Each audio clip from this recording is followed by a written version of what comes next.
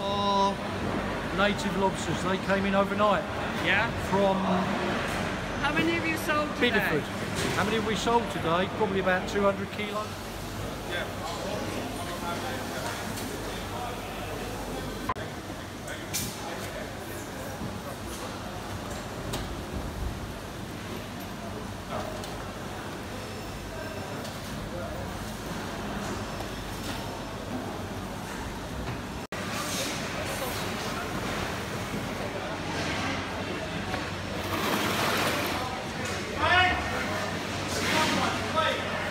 Oh, cheers.